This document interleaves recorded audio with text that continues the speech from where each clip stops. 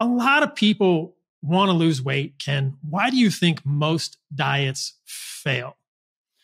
Well, I think most diets fail because we the the the tenets of the average diet that's promoted by the average doctor or dietitian is a calorie restriction diet and they they're going off the one of the laws of thermodynamics that they misunderstand they think that applies to human digestion and human biochemistry and it does not it does not because the human body is not a closed system our body is an open system uh, for example, my my skin is being exposed to the ambient temperature of the air in this room right now, which is too cold for Neisha, but just right for me.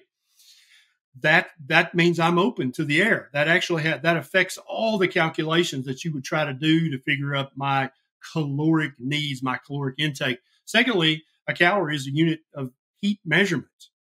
It's not a unit of digestive measurement. It's not. That's not even what it's really meant for you can roughly approximate the caloric value of foods, uh, some foods, with how much energy we're going to get from them. But uh, you and I both know you can't you can't count the calories in protein. That's ridiculous. You're, it's idiotic to try to pretend that you can do that. Many people forget that that fats they they were you know so people were like, well, you can't count the pro the, the protein calories, a calorie for calorie because we use that to build with and repair with. Well, we also use fat for hundreds of things in the human body. It's not just a fuel source. We can burn fat very efficiently for fuel, but we also use it to, to make and remake and repair and rebuild every cell membrane in our body. We make all of the hormones from the from the pregnenolone cascade down uh, with fat, with with cholesterol. We use that fat to build things with. We use fat to repair the myelin sheath of every single axon in our body. And so if you even pretend like, oh, we can count all the fat calories as, as calories, as energy, because you're going to burn all that, again, that's that's a very sophomoric way of looking at this because that's not true at all. Really, the only macronutrient that you probably should count all the calories is carbohydrates. And then you've got the, the, the fiber arguments, you've got the, you know, then there's soluble versus insoluble. And so every single diet is a calorie restriction. You need to move more and eat less. Now, many of them are starting to not say that anymore. But when you start to look at, oh, what are the free foods versus the, the foods that count as points? What are the red foods versus the yellow versus the green? However, bullshit way they want to break the foods up and say, oh, you can eat as much as you want of this, but limit this, avoid this. It's still calorie restriction, which basically means energy restriction, which basically means that you're you're going to stop eating before you're satiated before you're completely full. Now, every animal on the planet, if you feed them, and let's just call it what it is, it's food restriction, right? Because the average person walking the street doesn't understand the things and know the things that you and I know about food, that there are some foods that are nutrient dense. And there are other foods that are basically devoid of nutrients, even though they taste delicious and they have lots of calories and carbohydrates, they're really deficient in any kind of meaningful nutrition. Most people don't know that. So they they try to limit all foods.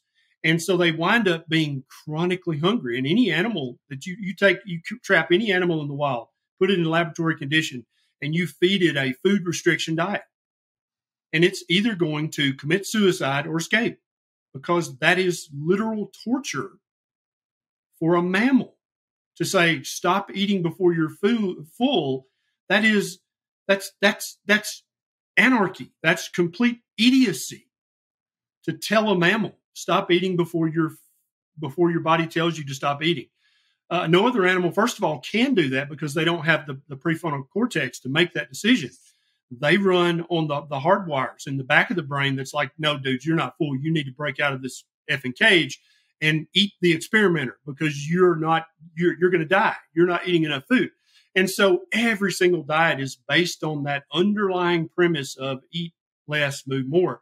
That's always going to fail. And so some there's you know there's millions of people running around on the planet who think of themselves as a failure because they're overweight, they're obese, they're morbidly severely obese, and it's their fault because they could not adhere to this completely inappropriate anti scientific strategy that they were given move more, which is going to make you hungrier, but yet eat less.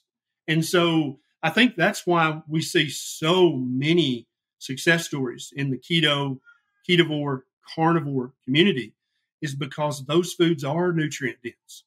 Those foods do activate the satiety hormones, of which there's a list that the average doctors forgot. They learned it in first or second year of med school, but they forgot them because then for the rest of their career, they're told, you know, move more, eat less, and here, here's some phentermine, here's some whatever, you know, the new diabetes medicines that help you lose weight because they basically have you seen that the semi, yeah the semaglutide oh, oh yeah they're, they're going to make so many billions of dollars off that, and it's it's complete ignorance, and and there will be repercussions and ramifications from that. There will be disease.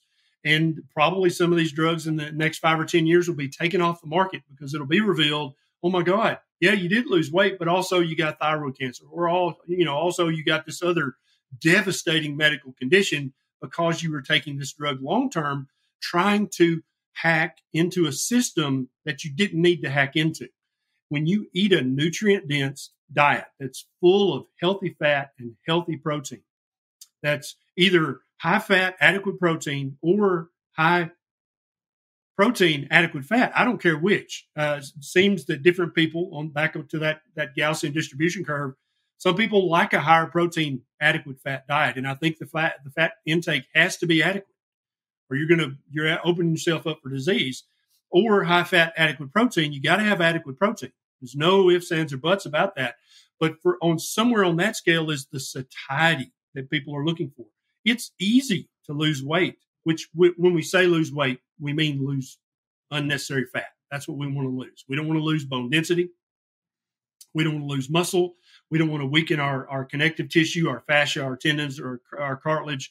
We want to lose the excess stored fat. And so the way you do that is to keep the insulin level very low by eating a very low carbohydrate diet and eating adequate protein and adequate fat until you are comfortably stuffed.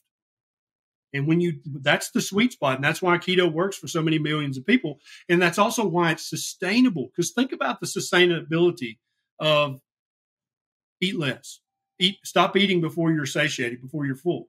That's, that's madness. That, that, that is never by definition unsustainable in a mammal. There is no mammal on the planet that will do that. And humans try to do it and we do it for a week or a month or six months. Uh, but un- unless you get to that sweet spot of getting adequate fat and protein and keeping your insulin level low enough so that you can access your stored fat, you're going to fail.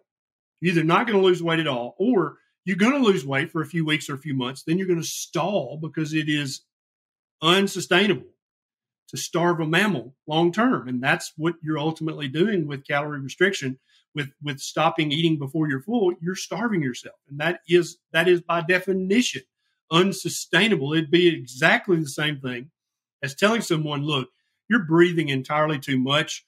Uh, all that oxygen you're breathing in, it's it's it's causing reactive oxygen species. You're causing ox, you know, oxidate, you're causing inflammation. I need you to only breathe five times a minute." And any any doctor, any physiologist is going to be that's madness. What are you talking about? Somebody can maybe breathe five times a minute. You do that for a few, few, maybe an hour or two. But then if you, when you, when you fail, because you will, are we going to call that person a failure? Or are we going to say, are we going to, we would just back up and say, well, that's obviously ancestrally inappropriate.